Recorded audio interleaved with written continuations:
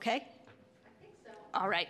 Um, I'm still Michelle Burnham, and I'm still the director of the Center for the Arts and Humanities.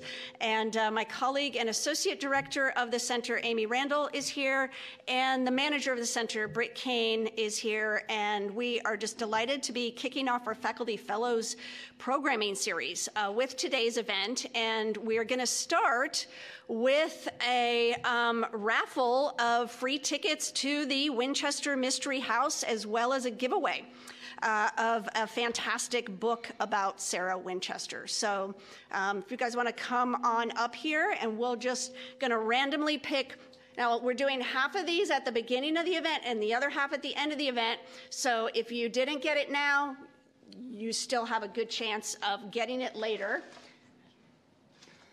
We're giving these tickets out in pairs. Anna Sedano, come on up.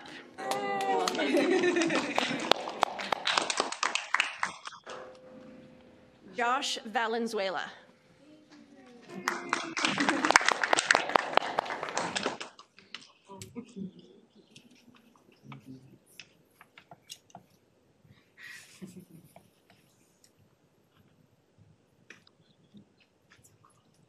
Pat Curia.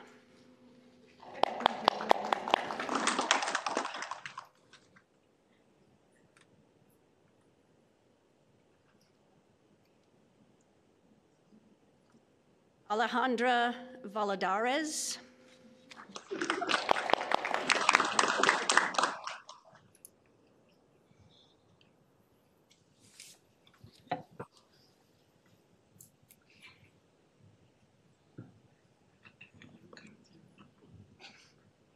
Olivia Pollard.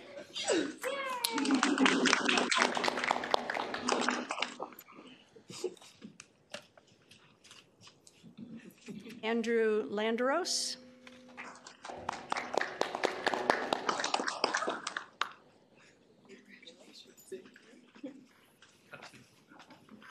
All right, media guy.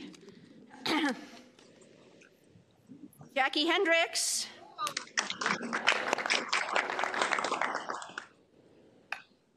And for the book, Amy Randall.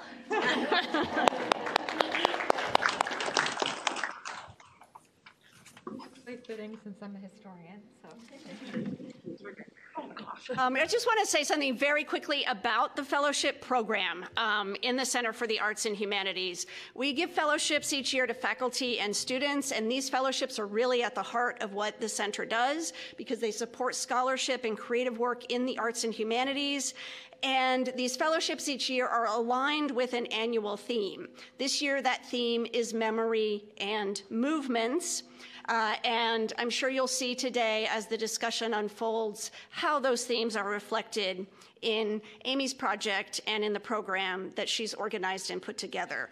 Um, so the Faculty Fellows series creates interdisciplinary programs that basically emerge from the ideas and commitments of the faculty uh, who are conducting research and doing creative work. So it's my pleasure now to introduce the moderator and organizer of today's panel, Amy J. Lueck is Associate Professor of Rhetoric and Composition here at Santa Clara University. Her research and teaching focus on histories of rhetorical instruction and practice, women's rhetorics, feminist historiography, and public memory.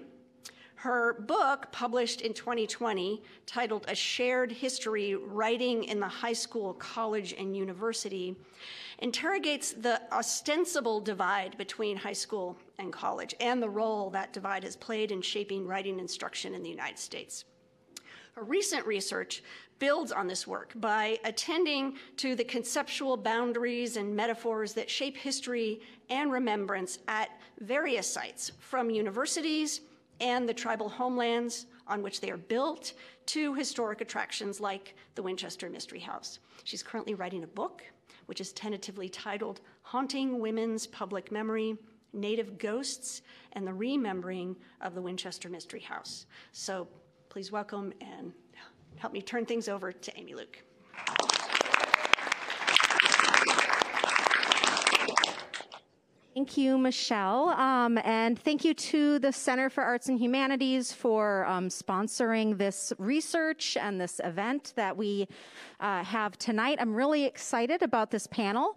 I'm really excited not to be the point of this panel, but instead to be bringing together three different um, perspectives on this site that has been of interest to me for some time. Is that mic up there still on? Because I'm still hearing something. Is it just me? Can we turn that one off? Thank you. Um, that's been of interest to me for uh, for many years now. Uh, this book that I'm writing has been in process for many years now, um, but these perspectives are still really evolving. So I, I'm going to have a lot to learn tonight from our three uh, panelists as well, who are all bringing different perspectives. Uh, to this one shared site of the Winchester Mystery House and the lands that it's on. I want to begin first, though, by uh, pausing to acknowledge that Santa Clara University sits on the land of the Ohlone and the Muwekma Ohlone people who trace their ancestry through the missions Dolores, Santa Clara, and San Jose. We remember their connection to this region and give thanks for the opportunity to live, work, learn, and pray on their traditional homeland. Let us take a moment of silence to pay respect to their elders and to all Ohlone people past and present.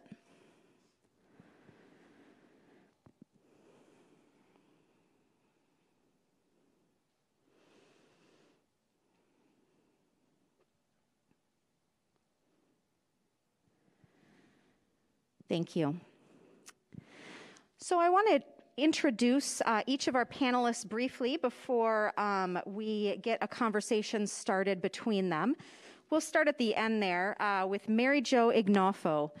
Mary Jo Ignoffo is a historian who has written books and articles, curated historical museum exhibits, been interviewed for documentary films and podcasts airing in the US, Europe, and Japan. She holds degrees from Santa Clara University and San Jose State University. And uh, she taught U.S. and California history for many years at De Anza College, just up the road in Cupertino. Her biography of Sarah Winchester, which some of you have or will have the opportunity to win tonight, uh, is called Captive of the Labyrinth Sarah L. Winchester, Heiress to the Rifle Fortune. It was first published in 2012, made into an audiobook by Penguin Random House in 2017, and just recently came out in a new edition with 27 additional images in 2022. It's considered by many, among them myself, to be the most respective and authoritative account of Winchester's life history. So we're really uh, fortunate to have Mary Jo Ignoffo here with us. Janan Boehme is the house historian for the Winchester Mystery House. Miss Boehme's fascination with Sarah Winchester's intriguing home began at an early age when she was growing up in nearby Santa Clara and has never left her. Working her way through college in the late 70s, giving tours of the popular attraction, she's returned several times to fill various operational and management positions over the past 40 years, serving as tour manager from 2013 through 2016 before moving into her current role as house historian in 2017, a role which she is uh, the first to occupy. So it's kind of an interesting uh, emergent sense of, of history and, and history making at the site. Uh, her, uh, some of her accomplishments in this role have included scripting and developing and overseeing the launch of tour scripts, working with uh, the Zilani Glass Conservation of Oakland to survey the priceless collection of Victorian era stained glass windows in the house, researching and acquiring furnishing and art, providing media interviews, writing historical pieces, serving as a historical resource, resource during the recent filming of a major motion, motion picture about the house, for those of you who have seen the movie Winchester, conducting in depth VIP tours and working with other artisans and contractors to carry out restore, restoration projects within the mash, mansion in a historically accurate and respectful manner. Ms. Boehme earned her Bachelor of Arts degree from Santa Clara University. Majoring in foreign languages and minoring in art history, she's lived, studied, and worked in Europe and holds a master's degree in international business from the Monterey Institute of International Studies. And last but not least, next to me here, Isabella Omne Gomez. Isabella Omne Gomez is a member of the Muwekma Ohlone tribe of the San Francisco Bay Area, which is currently seeking restoration as a federally recognized tribe. So I urge you all to please go to their website, muwekma.org, to learn more about that and sign their petition. Isabella is an active representative of her tribe, giving opening blessings and land acknowledgments at events throughout the Bay Area, which is her ancestral homeland. She and her family are devoted to their tribe's cause and enjoy helping in the tribe's information and exhibit booths at, booths at events throughout the area. Isabella also serves as a consultant to mine and Dr. Lee Panich's virtual Santa Clara course, ongoing right now, and as an intern working on public history and cultural programming related to Ohlone history on our campus. Isabella is currently a high school senior at KIPP King Collegiate High School maybe eventually a Santa Clara to round out our panel here. Uh, she lives in San Lorenzo with her mother Gloria, her sister Georgiana, and uh, her father Jorge. Uh, oh, yes. Uh, her connection to the Winchester Mystery House is as a descendant of the tribes on whose homelands the house was built, following the disruptions of missionization, the administrative thefts of lands during the Mexican and American periods, and on whose lands the house, this university, and the rest of the Bay Area development around us remains today. So, exciting panel that we have today, and I'm going to just kind of arrange this as a conversation, hopefully. So, uh, the three of, of these uh, wonderful women can speak to the audience and to one another. I have a few questions to prompt our conversation, but I'm going to allow you all to kind of elaborate on one another's points. I might ask a follow up question here and there. But I want to just kick us off by letting you talk a little bit more. I mentioned a little bit about each of your connection to the site, but I would love to give you each an opportunity to elaborate on your interest in or your connection to the site, the Winchester Mystery House. Do you want to start us off, Isabella? Um, probably not. I think we turned it off. There you go. Okay. Um, well, when I first heard of the Winchester Mystery House, um, it was probably when I saw ghost shows with my mom. So when I was little, we would love to watch Ghost Adventures together. Um, and I remember they mentioned the Winchester Mystery House, and it was like I was kind of fascinated by it because I saw all the glass stained windows. And I remember they mentioned like the baby lock of hair, and I was like, wow. So that was when I first um, heard about it. Um, but when I think about it, at first, um, I didn't really like put the connection between that being my ancestral homeland because it was more as like a tourist attraction site. It wasn't like it just didn't make that connection. And my mom and I talked about that before too because she went to the Winchester Mystery House around like the early 2000s and she actually went with our tribal youth, the Muwekma youth, um, and she took a tour there, um, and she just talked to me about it. Um, but we never, both me and my mom, never really made the connection of that being our ancestral homeland, even though we have a lot of ties to San Jose, both in the past and present. Um, growing up, um, we would do a lot of events um, at San Jose. For example, we'd go to the Indian Health Center at San Jose and that's what I grew up doing mainly over there. Um, also, like tribal gatherings. Um, and recently, we're going to do the Mexica New Year dances there. Um, so there's a lot of present day connections to San Jose.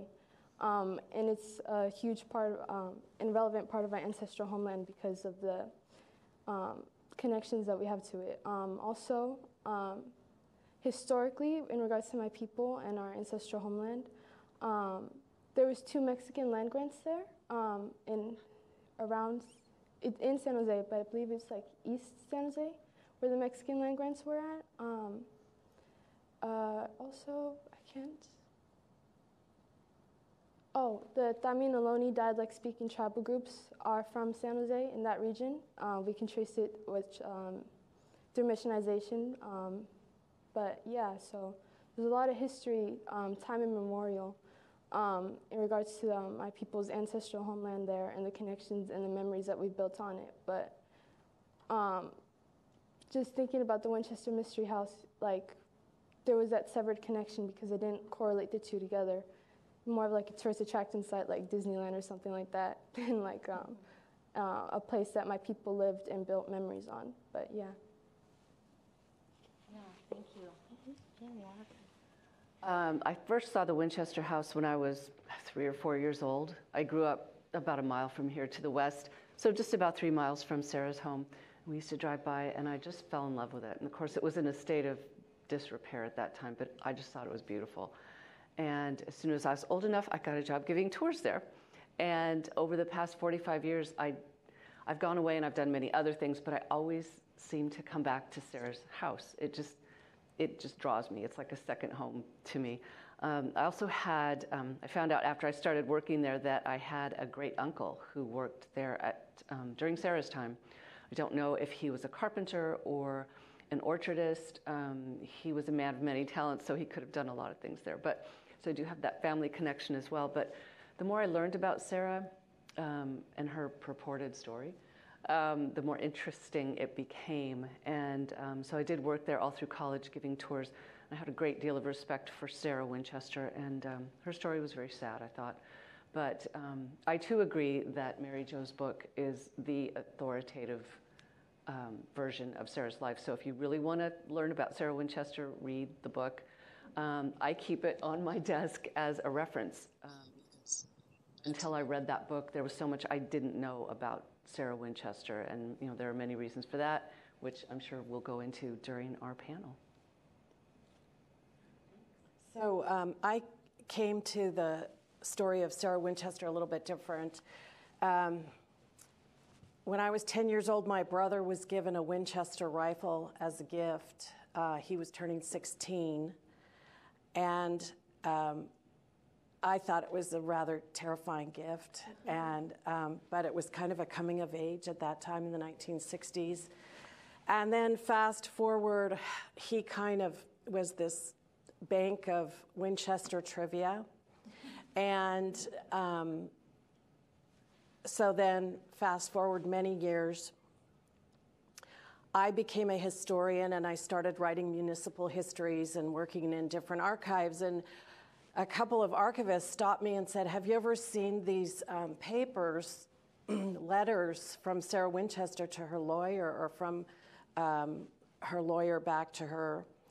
And uh, wouldn't you want to write a biography on her? And I said, Absolutely not. I don't want to um, spend five years of my life working on a story about a ghost obsessed madwoman. Um, and they said, Well, read the letters because they kind of indicate that might not be who she was. So um, for me, I came to the project because of the sources um, letters, um, property deeds. She owned a lot of real estate, she was uh, quite a real estate investor. Um, uh, agricultural records that her grounds people left, um, her information about her employees. I researched her entire family history back to 1644. Um, she didn't, her people didn't come over on the Mayflower, but darn close. Um, and so uh, to me, I came to the story about because of the sources. I want to uh, just ask you to um, uh, elaborate a little bit for audience members who might not know um, one of the things that I'm really interested in and this panel is interested in is, is this word public remembrance, um, memory. And, and I use that really intentionally myself as opposed to the history, right? So we have a house historian and a historian. Um, but really, what they're kind of getting at also are the ways that that history gets told, the ways the stories get told, um, and the ways that those stories can um, be told in multiple ways, right? And and sometimes kind of have um, other consequences, other outcomes, other than kind of um, historical fact. so I just want to, uh, for any audience members who aren't familiar with the Win- Winchester House. Mary Jo or uh, Janan, whoever wants to kind of start, could you just tell us a little bit about what the stories have been and maybe how that contrasts with um, your sense of what the history is that you're interested in bringing into the public remembrance. I, sure, I'll, I'll start. So, um, in a nutshell, um, the storyline around the Winchester House um, since about 1923 or so has been um, that the house uh, was built in all its oddities um, by a woman who believed as long as the building kept going on, she would um, not die. So, and the story was that um, construction went on 24 7 for 38 years, um, that she felt guilty um, about how many people, including um, na- Native people, um, killed by the Winchester rifle. Um, so uh, it was a it was a very tight mythology, um, partly coming out of advertising from the Winchester Rifle Company, um, who around World War One uh, started to um, uh, identify their uh, guns as the guns that won the West. Um, so um, that was the story that was told um, about her.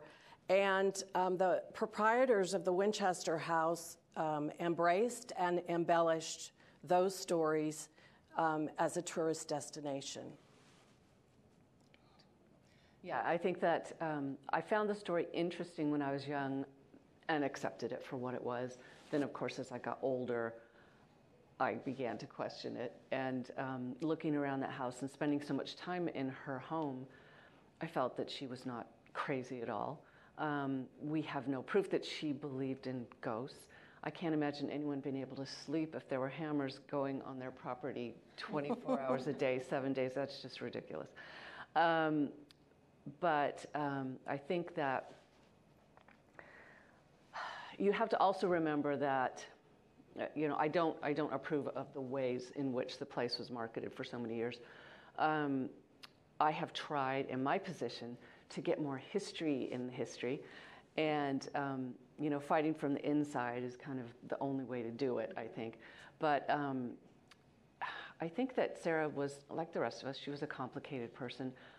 I don't know if she suffered from gun guilt. Um, guns were certainly a, a, different thing back then. They were a useful and necessary tool when you were out on the frontier. Um, and so I don't really know, you know, how connected she felt to that. Certainly, some of her money came from the guns. Well, all of her money. Um, but as you can read in Mary Jo's book, um, the Winchesters made their first fortune making shirts, not making guns. And um, so though Oliver Winchester bought this failing gun company, turned it into the Winchester Repeating Arms Company, that wasn't initially how they made their money. Um, and Sarah's husband William was all set to follow in his father's footstep and take over the take over the um, manufacture of the shirts until the rifles kind of took everything over. But again, we don't know that Sarah suffered from gun guilt or that she believed in ghosts or feared ghosts in any way.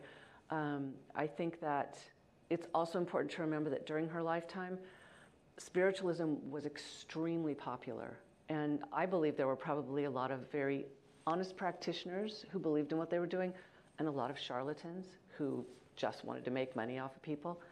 Um, but the legends about Sarah started during her lifetime, and there were many of them. And they just, people seem to love to hear scandalous things about other people.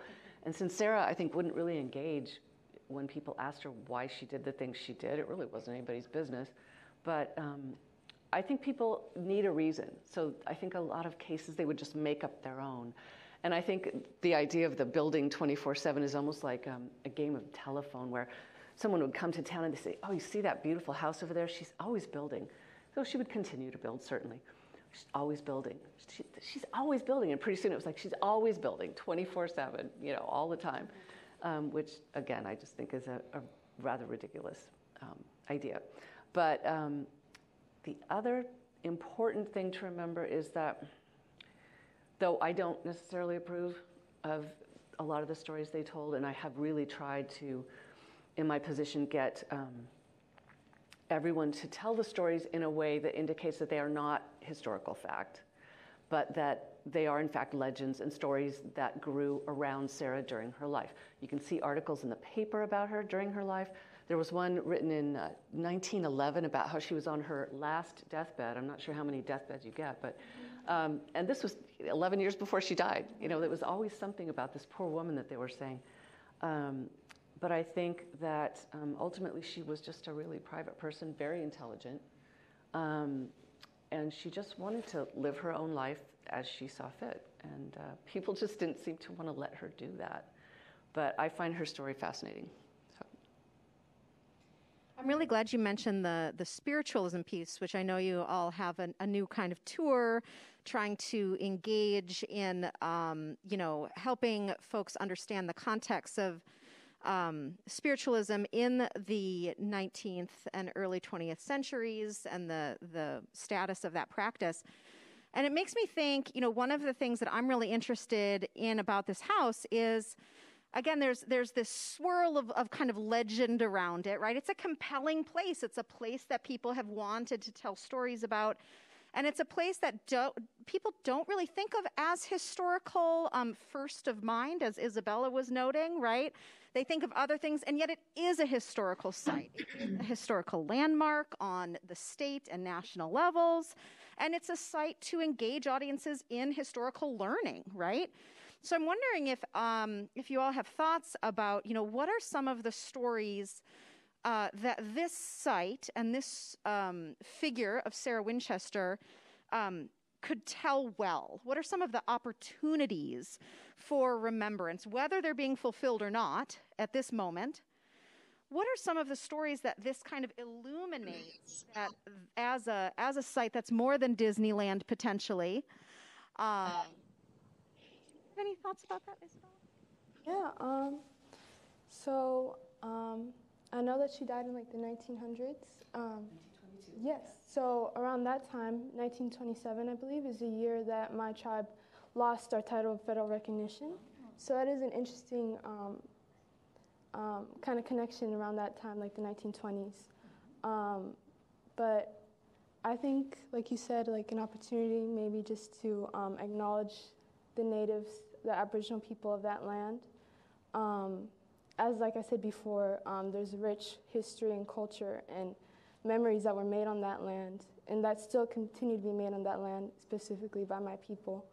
Um, but just a brief, not even like a brief, but just um, acknowledging that history, acknowledging the the plight as well as my people. I think that would be a good opportunity um, to intertwine the history of it with yeah. the Winchester history. Yeah, the history of the land is a kind of story available by this yeah. site. Yeah, yeah, absolutely. So um, I have a little um, tale to tell. Um, after my book came out, I was frustrated with the documentation um, on the National Register about the Winchester House because the original documentation that was drawn up in the 1970s reiterated all those stories. You know, building went on 24 7. The, uh, it never mentioned the earthquake. Anyway, the documentation at the National Register is not correct. So I contacted the National Register and I said I would like to um, offer the research to update the documentation on that site. And they said, well, that um, goes through your state office of historic preservation. Uh, we don't do it. So, um, first thing I learned is the National Register is like a list. It's not. There's no there there. I guess. Uh, I thought there was. So anyway, I contacted the state office of historic preservation. And they said, Oh my gosh, nobody reads those forms anyway. and so I said, Well, I do, and um, I have the research, and I would like it updated. And they said, We are, and I have all this in emails, we are not interested in a controversy about that property. Excuse me. and so I said, So, controversy, historical accuracy. And, and, and then they came back and said, There's only one party that can update the documentation, and that's the owner of the property. And so if the owner of the property has no interest in doing that, it can't be done. So uh, they said, you can write a letter and put it in the file. So that's in the file someplace in bureaucracy land. Um, but I think there's an opportunity now because all the research is done. It wouldn't cost anything. they could, you know, correct the record um, and include um, the land in the in the record because that I, you know, I filled out forms for other properties. Um, excuse, I'll get it. Um, so um, I just think correcting the um, records in the State Office of Historic Preservation and the National Register because they have these big plaques, um, you know, outside the house that have incorrect information on them. So the public is seeing this and presuming it to be true because it's on a plaque from the National Register. Wonder about all the plaques that you see around town. um, I think that would be a wonderful thing to correct. I, there was a mistake made at that time too about the year she bought the house. Yeah, the, even the basic dates are wrong. Yeah, and er- in the early collateral of John Brown, it was correct. Um, the date was correct. And then at some point, they filled out the forms and they changed it instead of 1886, they made it 1884, which is incorrect. She was not there for 38 years, it was 36 years. So I would love to see all of that corrected. I can't see why anyone should be afraid to put the truth on it, and we'll see what we can. We'll see if we can do Yeah, something. and it shouldn't I, I- you wouldn't even need a lawyer. No, it's not even about the money. I would just like to see that. I know they refused, on the plaque, it says Winchester House. It does not say Winchester Mystery House because that's not, that's not a historical thing. So, and I appreciate the fact that it does not say mystery in there. Um, and we did actually think uh, some time ago about taking that word out of the title. Then the Winchester movie came along and the tide swung back in the other direction, much to my dismay. Um, and there was no more talk about taking the mystery out of the house. Um, so I like to say it's where history meets mystery. But um, April. Um, since we're talking about correcting things and writing women into history, it should really be the Sarah Winchester House because she is the one who bought it and and did all these things. Um, Absolutely right. and why should her only be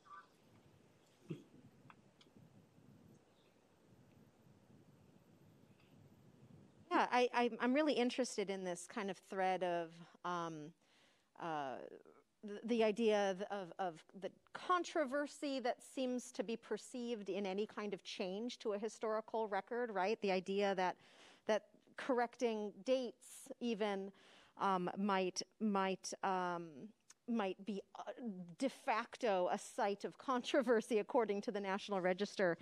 Um, and I'm wondering if there are other things from um, any of your perspectives, you know, as you're thinking about all of you in different ways share this mission, this interest in correcting the record, right? In, in kind of giving us a, a, a richer, fuller sense of what this site offers, this land offers, what this woman's, you know, story offers, however it is we want to frame it. There's, there's stuff there that's not coming out, right? Um, and I'm wondering if you all have um, thoughts about the challenges to this. So it is like administrative, like there is no there there. Who do I get in contact, right? What are some of the other kinds of challenges that, that are kind of plaguing this effort to to get these records changed, um, not just at the Winchester House necessarily, might be at other historical sites. What are, what are some of the challenges that from your perspectives? I think from our, in our position, our particular spot, um, a lot of the issue has always been, you know, historicity versus profitability. Yeah.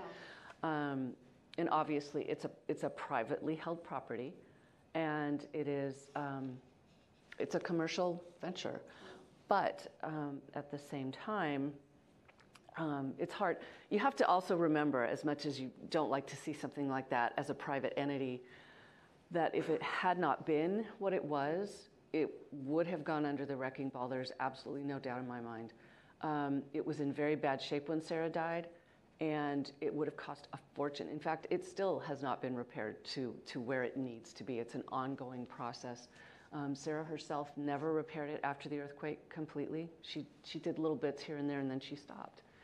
Um, she had another beautiful house in Atherton, and she lived there much of the time after, um, I think, 1910. But um, a house like that, you look at historic homes around the Bay Area, and one of the biggest struggles they have is supporting themselves. And usually they're nonprofits, and they have to struggle to get the money to keep the walls up. I mean, in old house, the foundation starts to sink. Uh, the roof shifts a little bit and it starts to leak. And there's, there's so many problems that come with old homes like that. And the Winchester House is like that times 20 because there's so much of it. And we've had all of those problems and we, we still do, they're ongoing. Um, and it just was so costly. No one would have put their money into that, certainly, not, not to live there. Um, and so it, w- it was the one thing that actually that is the most annoying about the way it was kept, but also the one thing that kept it standing all these years. So it's, um, yeah, it's just like life. It's, it's complex. Yeah. Can you repeat the question again? Yeah, just kind of thinking about um, what are some of the challenges? challenges to intervening in these kinds of um, historical stories like at the Winchester Mystery House? What are some of the, the ways in which that um, that gets from your perspective? Um, well, my perspective would just be a lack of acknowledgement. Um, over the years, history has been corroded into like these forms of what is like pleasable for audiences to interpret, what they want to interpret. Um, for example, so like uh, mentioning historical sites, um, I live in San Lorenzo, and in my town there's this um, historical house called the McConaghy House. And growing up there, um, I would just be fascinated by it because it's a historical landmark. There's also the Meek Estate House, and these historical places they're on my people's ancestral homeland, and even people like in my tribe that live in the area, they've gone to these places, but they don't internalize that this is their people's land. They don't understand that because it's not spaces for them to interpret that. They don't have, they haven't had the opportunity to interpret that um, because it just hasn't been made available for us. Even though there's like thousands of years of history seeped into this land that and history that is being made in the present. For example, like my people's fight for reaffirmation of federal recognition. So I just think acknowledging, like a lack of acknowledgement, is kind of what stops um, change from being made possible. Um, and this is very important because acknowledgement is really um, it's a key factor towards um, just towards moving forward not only for my people but other like natives as well california natives especially because our plight is very unique compared to the americas considering that california is like a place like that is very popular. Um, and it's just sickening kind of to know that like because i know that in the present like many california natives are not able to live on their ancestral homeland. I know my people so they've struggled to like like to financially be able to live here not only in california but in the bay area specifically. Mm-hmm. So just acknowledging is a very important step towards um, any like issue basically because if there's like no acknowledgement how do people know? How do people know the issues and the history that comes with these lands? Mm-hmm. So i think some acknowledgement is a key factor. Yeah. Mm-hmm. Yeah, opening up that space, inviting that kind of realization among all audiences. I- I think it's really interesting how you note that even uh, descendants, uh, you know, th- of that land itself, aren't being invited to see that. that connection, right? Just, Yeah. Yeah. thank you.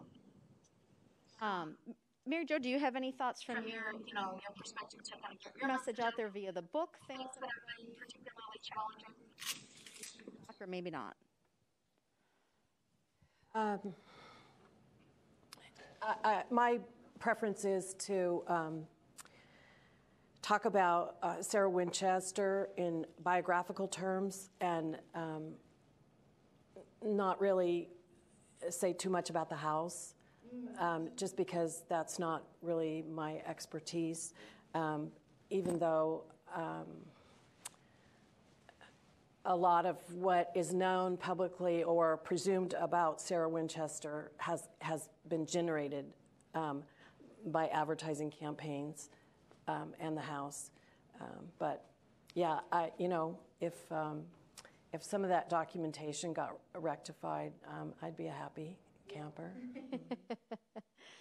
Yeah, I think it's it's common to say, um, well, if we knew more, then it would be easier. But but your research kind of shows us we know quite a bit.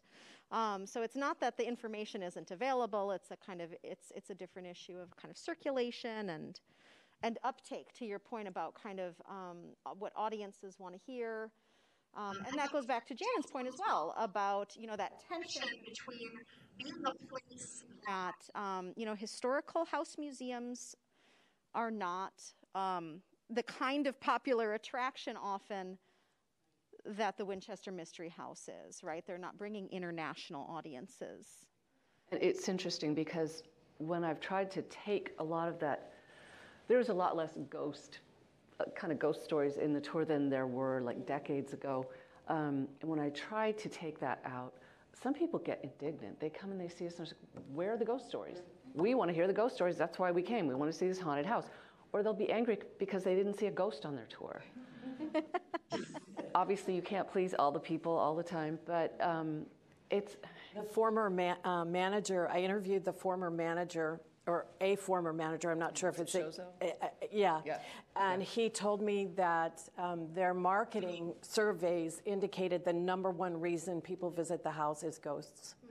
And so, and so they're in the tourist industry, you know, and I, I'm saying that uh, like as a fact, not as a, a criticism. There's tourist spots and there's other kind of spots, you know. Um, but it would be nice if the tourist spot could uh, not make fabrications about somebody. that should yeah that should Um, never be done. But, but I mean, the reality is people go there for ghosts. So, Right. And yeah, and John Brown, it's important to remember too. John Brown, who um, leased the house in 1923, um, he couldn't quite afford it. No one else wanted it.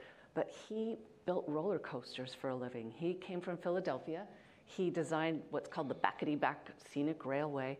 And that's what he did. He worked at various um, attractions in Canada and in the United States. And so that was what he knew. He knew the attractions business, and that's how he intended to develop the estate. He wanted to make it into something more grand than it is now, and he wanted to make it into something that he was more accustomed to, with his railway and you know carousels. I've got boxes of his letters to his. You'll have to see these um, to his wife and daughters when he would be away from them working, and um, so he found the Winchester estate and he thought it would be perfect for something like this. That it, you know, a beautiful family entertainment center, basically, where people could come, an amusement park.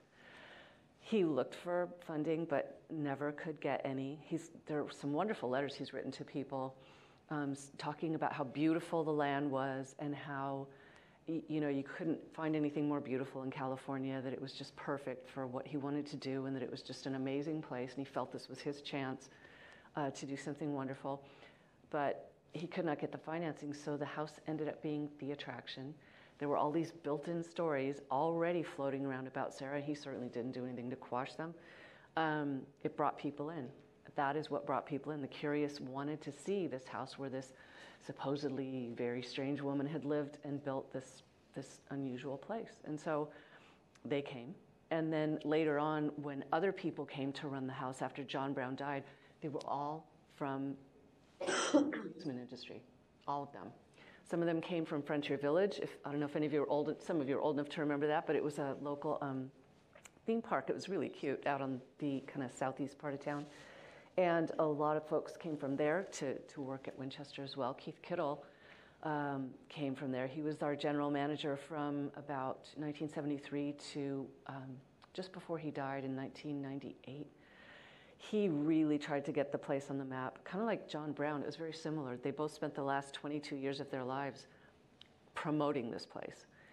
And um, Keith was the one who put all those billboards up and down 101 all the way. Some of you remember those with the skull. Yeah. Um, so, yeah, it was always run by tourism people. And so that's one reason why we never had a historian before either. It was not about history, really. It was so now I'm trying to gather all of these papers and things from a hundred years that we've been open to the public. It's like in your house, you, you tuck things into drawers and closets, and this has been going on for 100 years. So now I'm pulling all this stuff out and trying to get it organized into an archive so that we actually have something for people to visit online or in person and, and come and see some of the history. And, you know, Mary Jo has laid it out very clearly, you know, what this woman's life was about. Um, but we do have some wonderful information because there was a, you know, the house has had separate lives. It had its life as Sarah's home and her ranch, um, and a place where many people raised their families and worked and were very happy, um, to the past hundred years where thousands of Santa Clara Valley residents have taken care of this home and tried to share a story, correctly or not, um, but kept the place alive. And um, so it's it's a very interesting and complex sort of sort of history that it has. Yeah, I'd love to kind of link, link that back to um, some of some of Isabella's um, comments also. To, to, think a little bit more about like the ways that this amusement site is trafficking in a kind of shared like settler imaginary. That frontier land is a really interesting link, right? The idea of, you know, again, that's that sense of, of audience, what the audience wants to hear, the conception of who the audience is as a kind of know, a, a, predominantly white settler audience being imagined, right? And I, am thinking about the ways that Native history has kind of come in and out of view over the course of those documentation. Like the 70s was one of those peaks for um, the figure of the Native being part of that story more visibly. Um, but it wasn't the figure of the local Native, right? yes. It was the figure of uh, Plains Indian uh, Native most often. Um, so I'm just wondering if, if there's anything in that that anyone, um, does that spark thoughts further about, again, how certain stories are being um, picked up or made available at this site through this through this history through this site. Um, yeah, just I feel like there's a lot there. yeah. Um, well, the depiction of what a native is, it's yeah, it's people kind of don't know how to conceptualize what being indigenous, being native is because there's so many. Being native is very unique to each specific location, each person's tribal ancestral homeland. Um, California Costanoan natives, it's very different than Plains Indians. Um, it's different than people indigenous to Mexico. It's different than people indigenous to Canada. So there's not one direct way to pinpoint what a native looks like, what a native acts like. Um, even just like right here for my people, we, we're Bay, Costanoan um, natives. So it's just very unique. Um, so and that's been a struggle since colonization. I don't like yeah. that wasn't a struggle before because it was just even like intertribal marriages. Um, like mm. for me personally, I'm like Ohlone also, but um, I'm Miwok too, and then my abuela is from Mexico, Sonora, mm. um, Mayo Indians. So there's a lot of indigenous roots in me, but um, I don't know. That wasn't a problem before with settler colonialism. Mm-hmm. Like, um, but yeah, I mean, personally, growing up, I even struggled to interpret and like conceptualize what being a native is, what being a native looks like. I mean, media such as Pocahontas. I mean, Peter mm-hmm. Pan, like. Um, what was her name? Lily Joy, I believe. I forget the character from Peter Pan, but that's what I saw as being native, mm. having tomahawk, having a teepee, having a feather. Mm. That well, that's the media representation. That's what I kind of internalized. But I mean, growing up, being a culturally active native, I mean, I go to powwows and I see all these different tribal nations interact with each other, um, powwow dancing. So I mean, that's a struggle just to depict what a native looks like, what a native acts like. There's no direct way to pinpoint it because based on like the location that you live on, there's always going to be a tribal community that has unique um, characteristics, unique, unique cultures about it. So it's just, and I know with like um, westward expansion and stuff like that, even with that, like coming to the California um, Manifest Destiny and stuff like that, people depicted Plains Indians, people depicted the stereotypical tomahawk, um, one feather on your head mm. Indian, not the abalone wearing Dentalium, wearing pine nut, mm. wearing um, Indians, I guess you could say. But um, I know that's probably always going to be a problem because I mean, like history corrodes the, our present viewpoints, which is a problem, but that doesn't mean that we can like stop it and prevent it from persisting on through um, our lifetimes and our individual views. But yeah, I know that in some, just the depiction of what a native is and how you interpret what being native is is a problem. It was a problem in the 1800s. I mean, um, problem in the 70s, problems in the current day, but yeah. Yeah, that complexity is really hard to represent, that complexity of um, intersectional experience and identity for Native people as well as non-Native people.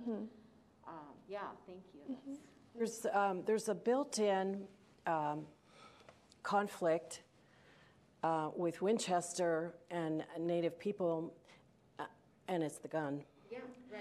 And so uh, uh, you, it's impossible to talk about Winchester in any iteration. Mrs. Winchester, uh, who earned her income from uh, arm, the most successful arms company in the last part of the 19th century, um, the house named for it um, until recently had a gun uh, display. Um, so I'm just trying to put myself, if I am a visitor and there's um, an acknowledgement or um, presence of indigenous people, I, I, it would be hard for me with the, with the gun because of the history of the gun and the people. And um, on, uh, on uh, both sides, Native people used Winchester rifles too, specifically at um, Little Bighorn. Um, but um, I think um, the topic of um, firearms and the ambivalence in America um, and the disconnect, um, um, people fighting over Second Amendment. Uh, so it's part of a bigger, bigger conversation. And sometimes I think the twist of stories about Mrs. Winchester, about the Winchester house, are very much tangled up in the story of um, uh, firearms. And um, I, I found no historical evidence whatsoever that she felt guilty about earning money from guns or that she felt bad about guns. But if we're talking about us now, there's a whole different attitude than 120 years ago. Absolutely. I, we used to do um, tours, well, activities for school children. Before the pandemic, we would get grade school kids who were studying um, California history, and um, they would come in and we would design little activities for them so that they could kind of rotate. There'd be a large group. And some of them would go on a little tour of the house, and some would learn about Victorian children's games. Of course, you know, there were no computers or iPods or television or radio. Um, and they would learn um, why is this a Victorian house? What makes it a Victorian house? Um, and all sorts of different, there was a reading corner and things like that. And it occurs to me that it could be interesting to try to do something like that, but go back, go back further to the first people who lived on that land and do instruction about that. I don't know if, do they cover that in some year of grade school now or Yes. what year would that be? So fourth graders? It's still fourth, okay, Yes, yeah. Still fourth graders. I don't see why that couldn't be blended in and just made part of the story because it's important. It has to be. Yeah, yeah. I love the way you express, you know, building memories on the land is about. Oh, thank you. Very nice. The GCC did a wonderful job consulting with uh, like Mary Anne Marie Sayers. Uh, like when I go to Alviso, I looked at the water and the reeds differently, and it gave me a beautiful feeling about nature. And I know there are still Ohlone uh, that get you know news on the land and the fruits and vegetables. And there's this wonderful cafe I haven't been to yet uh, at Berkeley. I said that right? Yes, mak-'amham, you said it right. And Cindy Lewis and um, that was very. They spoke here. And yes, that has to be a part of history. Building memories on the land. I have memories. there are caves that are very to get to. Be interesting to learn, yeah. There are universal aspects. So you brought that up first, I think, and suggested that something like that could be incorporated historically. I think it's necessary and it would be beautiful and wonderful. Because you're right. This is more of rather a right person's perspective right now. This my life. I was just thinking.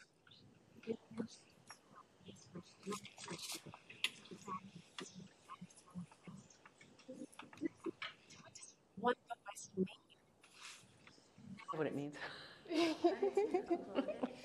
Yes. Yeah. Yeah, I'm so glad we have you on the panel. Thank Absolutely. You. I appreciate. I'm happy to be here. My family is not, um, I'm not um, of an indigenous, you know, ancestry, but it makes me sick to see what we do to the land and, and the way we treat this amazing place that we live. So I can't imagine how I would feel in your place. Yeah, it's very frustrating because um, while I'm blessed to be able to live here in the Bay Area, but many of my tribal um, community, they're not able to live here. They're not able to afford here. Some are even homeless. They're not able to live on our ancestral land, but it's very frustrating. But yeah, it's important to acknowledge. Yeah, I think it's very telling kind of where we begin telling these histories, right? Yeah. Where is the start of this story? You know, on the plaque we've got we've got dates and and uh, the maybe earliest is about 1884, or maybe we go back to Dr. Caldwell who built the farmhouse um, that that became the but it's the it's the house and it's the deeds and um, yeah. So I think it's an invitation to think about how we how we conceptualize history, uh, who is part of that, when is part of that, and um, and and how we conceptualize ourselves as a part of history as well, right? That we are we're we're here still, we're making history um, ongoing. Um, are there? I think. Do I? Are we ending at five thirty overtime? Do I have time still for one more question and then? Actually, have till six. That's what I thought. Good. Okay, that's what I was assuming, but then I was panicking. Um, I, I want to I want to kind of explore that a little bit more in terms of you know what are some of the other kind of similarities to other local sites? Like we, we like to think of the winchester house as an anomaly perhaps but it's in a lot of ways not right? It's in a lot of ways you know facing similar kinds of problems of of remembrance and exclusion and erasure and um, you know what else can we learn about historical remembrance and representation from the winchester mystery house as an example Yeah, um, like I mentioned earlier, um, nearby where I live, literally like across the street, um, there's another historical house that I've visited numerous times, the McConaghy Estate. Um, and that's a problem that me and my mom have addressed too. We've told them that there's history there more than just the McConaghys, going back thousands of years. Um, it's just an ongoing problem. Um, yes. Um, um, there's brutal history too, but there's also um, historical remembrance that should be put into these um, into the history that's being taught there instead of weaponized. Because when you don't acknowledge stuff, it's weaponized. It's just silencing, trying to keep people dormant. So just um, just acknowledgement, like I mentioned before, is important. And some like numerous historical houses still have stuff to learn. Um, yeah. Yes, especially in California. yeah Um, but yeah. and that they still can learn Yes. right and they can revise and they can, Yeah. and they can continue to develop those materials and perspectives.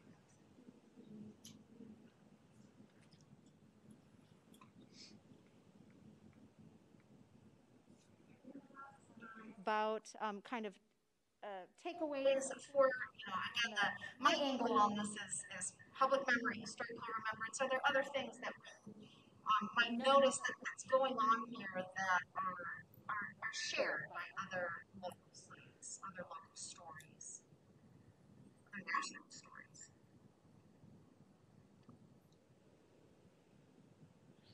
I have two little anecdotes. One, uh, uh, yesterday, a friend who happens to be a Jesuit said to me, I was talking about this panel, and he said, Well, don't let the truth get in the way of a good story. um, and uh, the, um, the grandson of the farm uh, foreman said to me, Mary Jo, the truth doesn't sell. And so the public has some more responsibility to um, um, demand a, a, quality product, to think, um, and and how uh, we get to that point, I, am not sure, but uh, I think there's really something to be said that um, storytelling and fictionalizing. Um, maybe it takes us out of some of the troubled world we occupy for a little brief period of time, and, and that has some purpose. Um, but um, it, it's not just um, the source; it's it's the it's the people who believe it too. So absolutely, yeah. It's like I was talking about with April.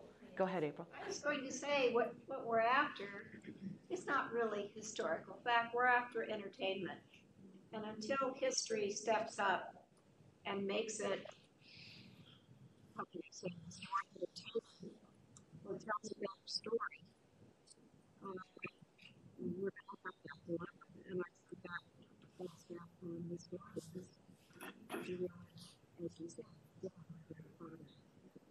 learn how to engage people. They have to feel themselves in the story somewhere, I mm-hmm. think, to, to actually become engaged. And some people really get bored when I start talking about the. I, I, I, like to do interviews about the design of the house, about the decoration of the house, the aesthetic period, and, and a lot of people just kind of go, disappear. Um, but there's so much that you could talk about that house, even in the more recent past. If you wanted to talk about not ghosts, but you could talk about the stained glass windows. There's an amazing collection of stained glass windows in that house that is just astonishing. Um, and there's a huge story there. There's the aesthetic period, art for art's sake, the whole you know interior of the house. Why did she build it the way she did? Why doesn't it look completely different? It, there are many reasons you know that contributed to that. The famous wallpaper in the house, the Lincrusta Walton wall covering, um, also the American art tiles. There's a huge story for the American art tiles. We have beautiful tiles. That's a whole industry unto itself. But there are many stories that could be told, and I would love to try to get some of those you know, you try to suggest, well, let's have a tour about the architecture or about the windows. And they're like, well, but do you think really there'll be many people interested in that? Well, I think there don't have to be as many as there are who are interested in the ghosts, but maybe you could have tour, specialty tours like that periodically that people might be interested in coming to see. Um, I guess we don't know until we try, but I would love to try that. Um, and we've talked a little bit about this um, together, and I'd love to see where we can go with it. So, because I know there's there's many other avenues that we could take, and uh, to see what we can do. Yeah, I'd, I'd love to uh, open it up to some other questions as well. I've I've, I've monopolized the conversation. Uh, uh, in terms of revising the record with the, all the new facts we have, my question is for all three of you. Have any of you tried to update Wikipedia on your areas of expertise and what have you experienced if you did that? It's not pretty. Um, we did try to correct some of this. St- somebody went in there and started changing, every, and it wasn't even. Yeah. I know who. Uh, is this someone you know?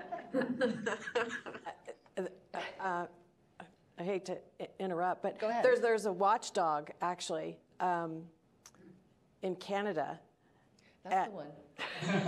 and she, uh, um, I don't know about the house, but the, the site for Sarah, the Wikipedia site for Sarah Winchester used my book extensively.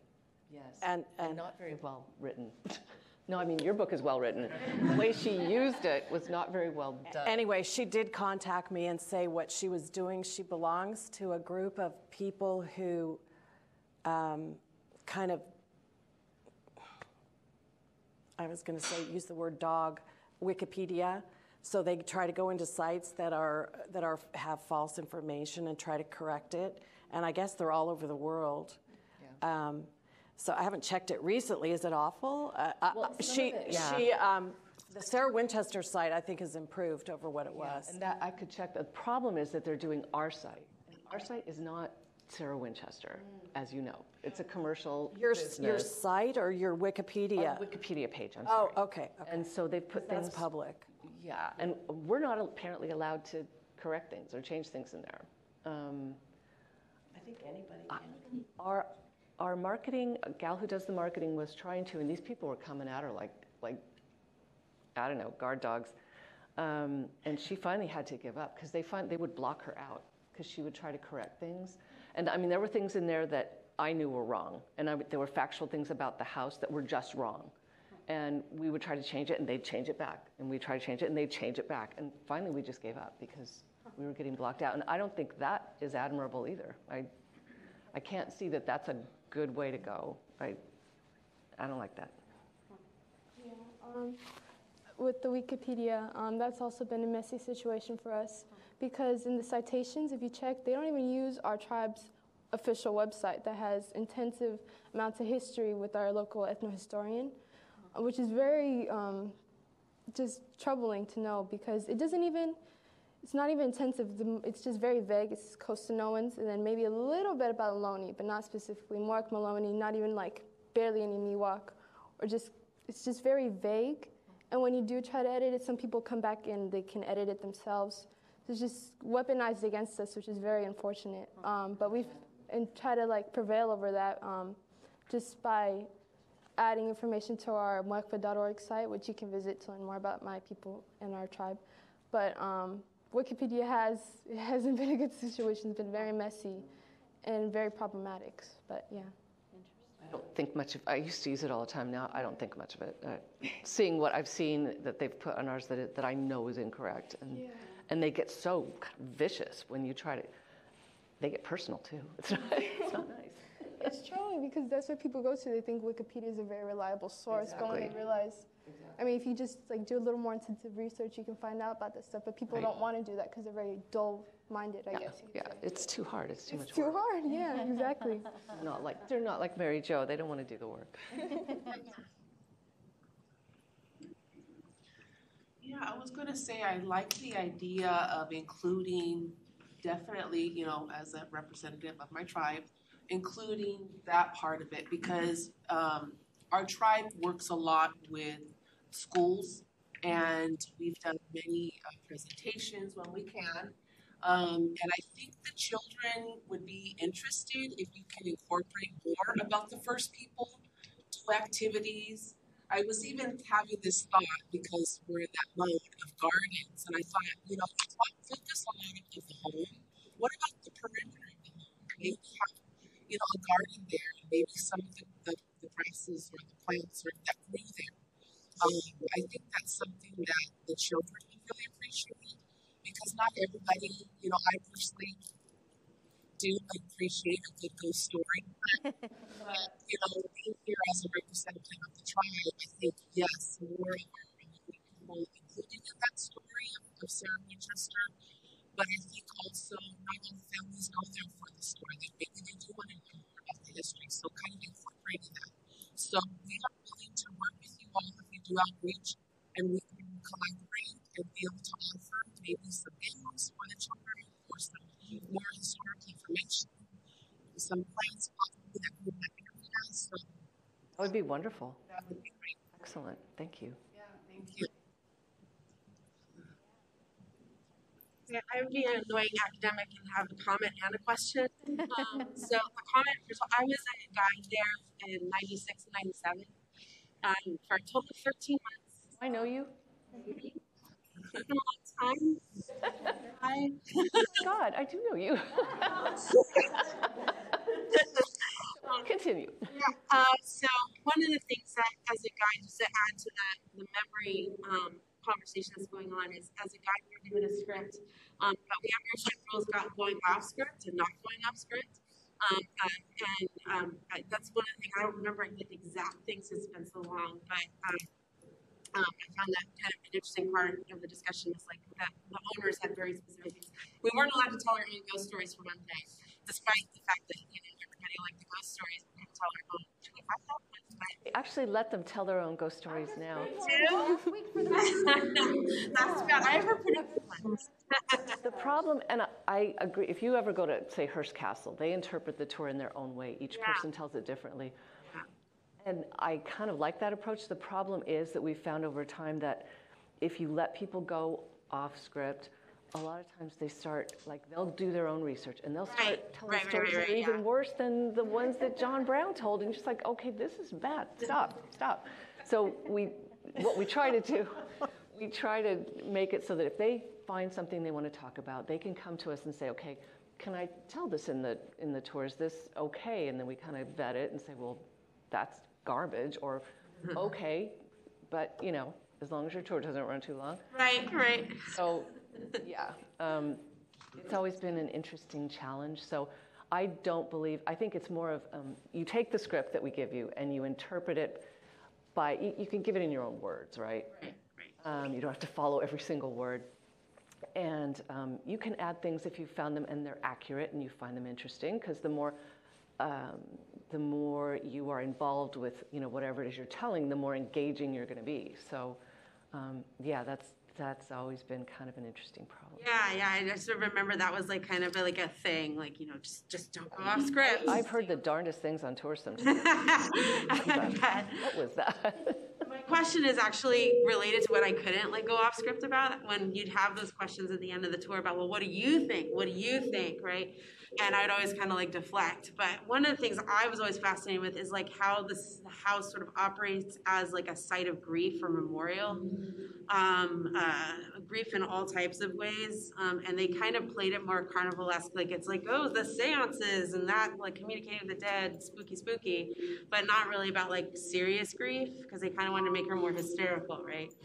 Um, uh, so I was just curious to ask the panel kind of what your thoughts are on the house and or on Sarah as being kind of like a grieving or that place being a site of grief. Um, is that something like 26 years I've been thinking about?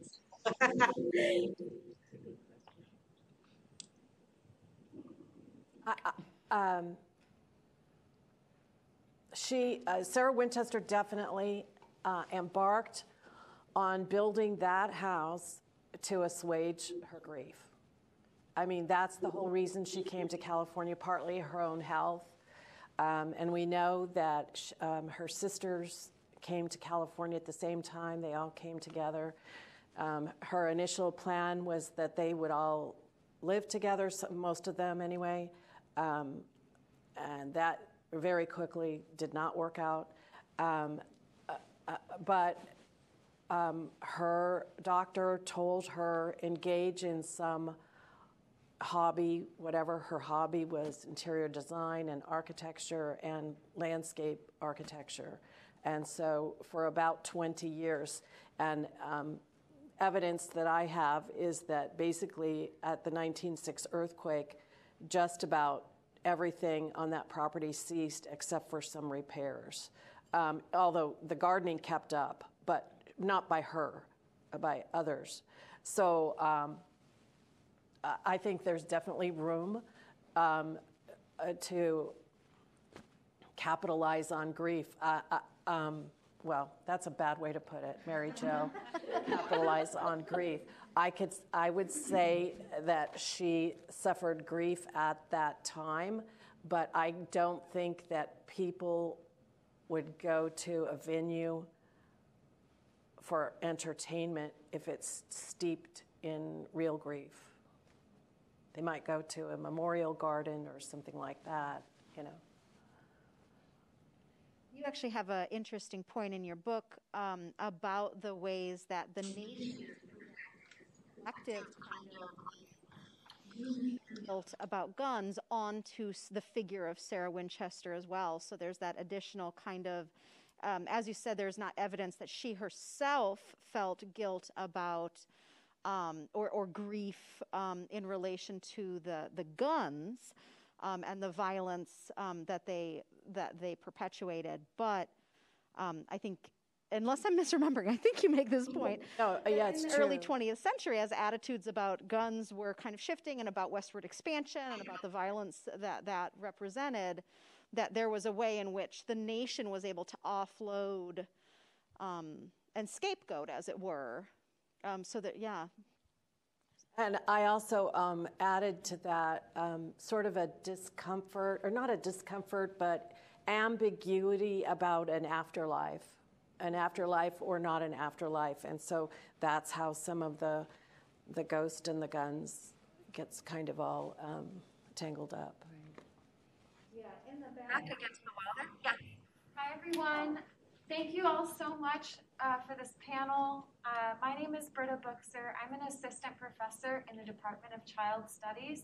So I've been especially excited to be thinking tonight about storytelling and engaging children in this site. Um, and not only just a site, a place that has a land history, but really humanizing and capacitating that history as a history of people. In our class, students who are here tonight work on projects that are culturally relevant and affirming children's stories. And I'm curious how you think about this place as you've described being alive, right? And this idea that to be able to engage with the story visitors need to be able to see themselves in it. I would love if you could describe more, and Isabella, I'd be especially curious about your thoughts about how children might see themselves represented in this place and what is necessary for a culturally relevant and affirming storytelling for visitors to Winchester. Um, well, when you asked that question about children, instantly I thought about the children in our tribe. Um, personally, I have a younger sister. She's just turned 11 yesterday, but um, um, I know, well, growing up, my mom would read me like children's stories um, in our Chochenyo Ohlone language. Um, so I know that storytelling is very important because it kind of shapes who you are, shapes how you interpret things, and how um, just like when you're surrounded by that, it can be either uplifting or like hold you down. But I think that's there's it's a broad way to like kind of like um, tell the stories. I know uh, it could be maybe a story about the land, the history, um, but that's just my perspective. Maybe about the plants. Um, but yeah, with storytelling, it's a lot of different ways you can go um, to tell it. But that's how I interpret it. Yeah, there's a way in which the site wants to tell a story of disconnection and othering rather than a site of connection um, and creation and figures of this story. Yeah, that's, that's really interesting way to think about it. Um, we are at time, so if you have a question for one of our panelists, we do have um, a reception set up outside. Uh, so if they are able to to um, visit for a bit, um, I'm sure we can continue this conversation with some refreshments. We do also have one more drawing for one additional copy of Mary Jo's book and some more tickets that we want to get out there as well. Um, should we should we thank our panelists?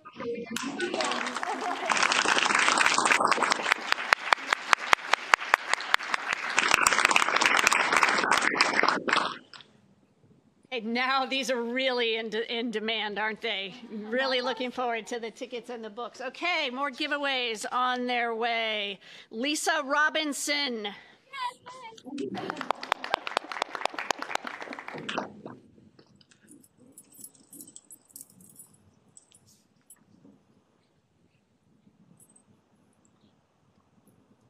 Olivia Rennie.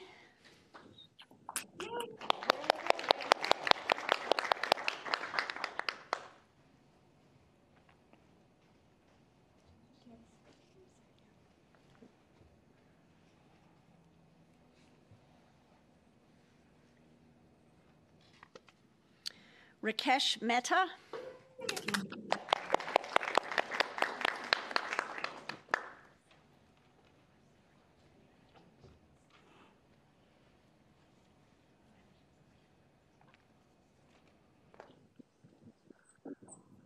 Got two, so I'm going to call these out at the same time. Britta Buchser. And Alyssa Lee.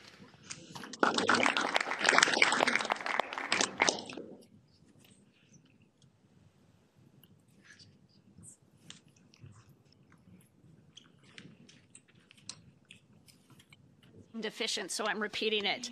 Uh, Monique Covarrubias. Lisa Francesca. And Veronica Miranda. So Veronica had to leave, but I work in the office just down the hall from her. Oh, uh-huh. I promise they will get to Trust you.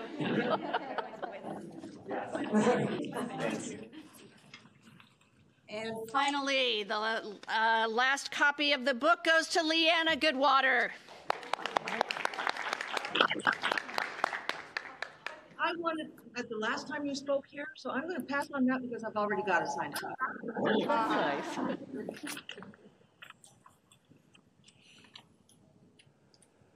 Maria Hudgens. Marga Hudgens. Those of Okay, you once again, a huge thank you to our panelists and to uh, Professor Amy Lueck. The freshmen are outside, and yes, please feel free to come forward and, and talk to the speakers.